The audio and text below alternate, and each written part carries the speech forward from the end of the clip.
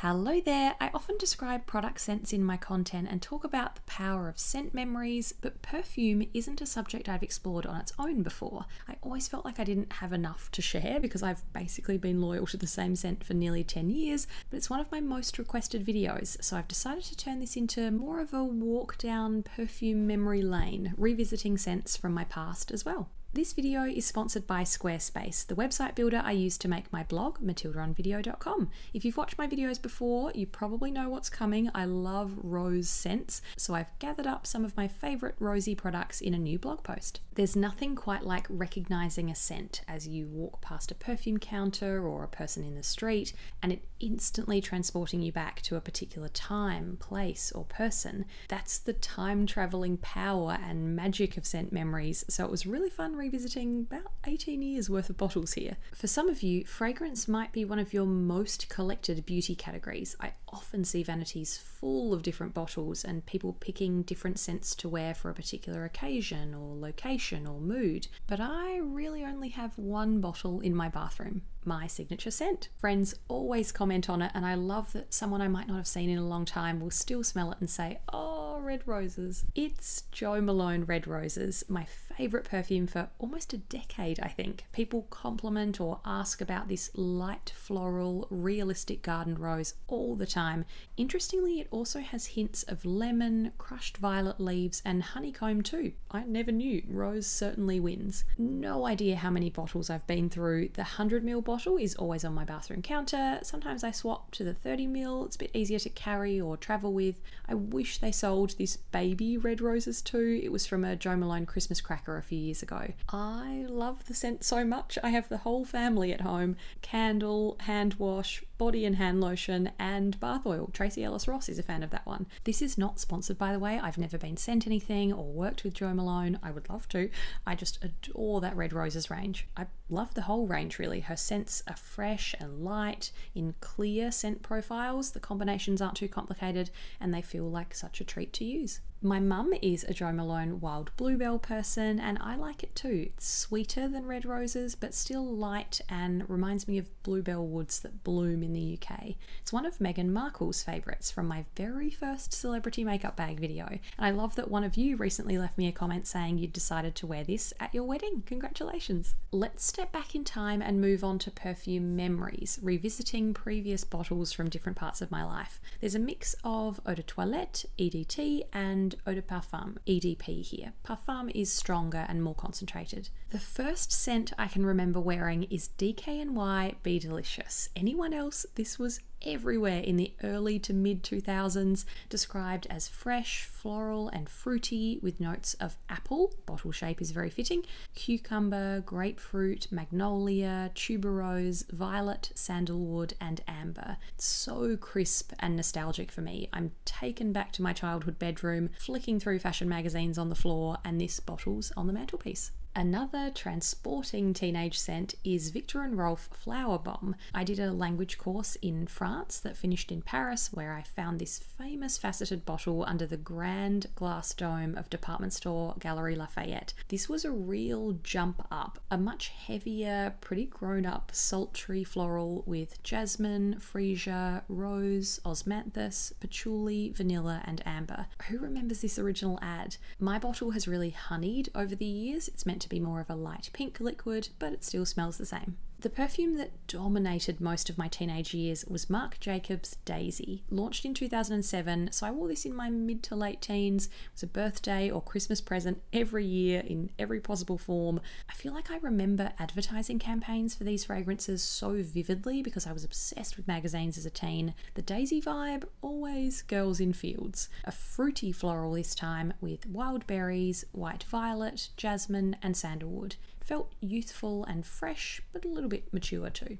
At some point in my mid to late teens, I also wore a bit of Paul Smith Floral. Don't think it's around anymore. This launched in 2005 and I found it in London in 2007 in Paul Smith's Covent Garden store on Floral Street, hence the name. I saw a reviewer describe this floral as having a 70s flower power spirit. There was a bit more spice to it with orange, grapefruit, ginger, water lily, magnolia, orchid, tonka bean, musk, and amber. Later, in early university years, after discovering the joy of diptyque candles, I wore a lot of diptyque Ofrésia. Still have the tiniest bit left at the bottom of the bottle. Fresias are one of my favourite flowers. They have such a distinct scent, and this captures that with white freesia plus pepper and woody notes to add some depth. I guess this marked the beginning of me moving towards more simple, straightforward floral fragrances like Jo Malone. Diptyque Eau Rose was a birthday present a while ago. I haven't worn much of it yet, but I really like it. It's a much stronger, more full bodied rose compared to Jo Malone.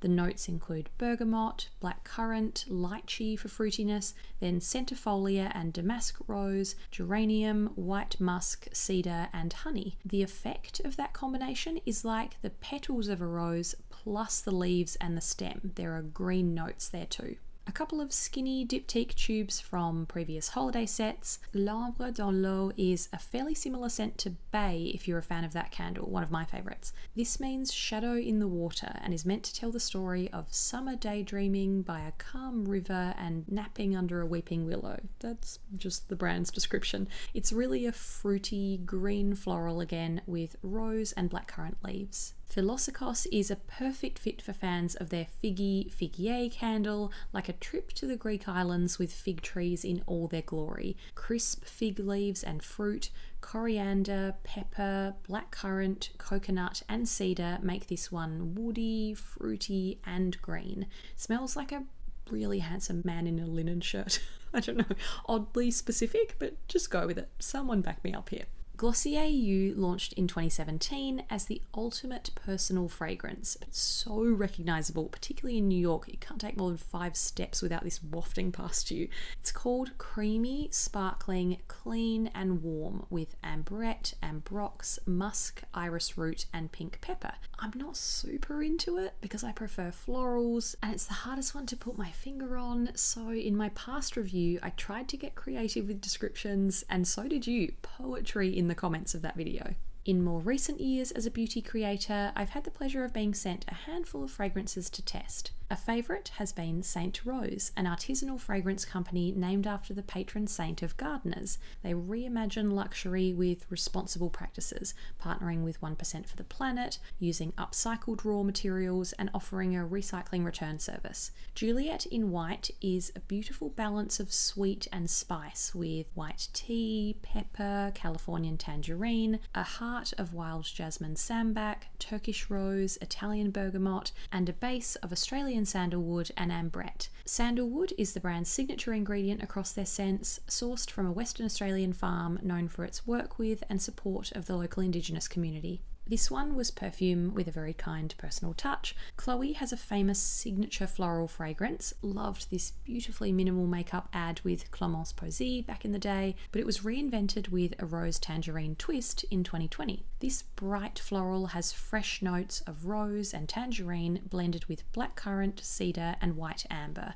English actress and celebrity makeup bag star Lucy Boynton was the fresh faced star for the current campaign. I'm sure some of you have seen the commercial for Armani My Way with stunning Puerto Rican actress Adria Arjona traveling through Tokyo, Thailand, Seville, and India with Birdy singing in the background. Described as a new vision of free spirited femininity, this refillable bottle feels like the most sophisticated, traditional perfume here, with Calabrian bergamot, Egyptian orange blossom, Indian tuberose and jasmine, Madagascan vanilla, and Virginian cedarwood think it's fair to say floral notes were fairly common here, so in the spirit of my favourite red roses, I've listed some other rosy favourites in a new blog post on matildaonvideo.com. Squarespace is not only a website builder to get you started, but a great place for blogging. The posts are easy to edit, you can insert text, images, completely customise the look. You'll find the usual product culprits in that post, but let me know if you'd be interested in a video too. If you're a budding blogger, Squarespace offer a free trial, then when you're ready to launch, you can visit squarespace.com slash Matilda to save 10% on your first website or domain name purchase. Whew, I have a bit of a headache after filming this. That's a lot of perfume in one place, but it was really fun for a change. I hope you enjoyed wandering down perfume memory lane with me. There are roses planted in all of the garden beds on that lane, by the way. Please share your favourite perfumes in the comments. Did you have any matches here or any suggestions for me if you found a light floral you think I might like? I'd love to hear some of your scent memories or fragrances you associate with different stages of your life. Get descriptive, please turn it into a poetry festival in the comments again. Thanks for watching. See you next time.